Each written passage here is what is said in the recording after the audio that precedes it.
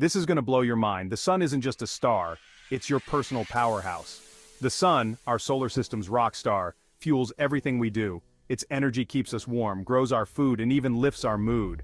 Vitamin D, anyone? Its rays travel 93 million miles just to light up your day. And guess what? This same energy can motivate you. Imagine harnessing that power to fuel your workouts, your goals, and your kindness. Every planet in our solar system gets a slice of this cosmic pie. But Earth? We've got the perfect spot. And a full day here? 24 hours of potential. So, why not use it wisely? You see, the sun teaches us to shine no matter what, to spread warmth, grow, and energize others. So, take a page from the sun's playbook. Treat your body well, exercise, eat right, and be kind. Remember, the same sun that lights up the universe lights up you too. Make every day a sunny day.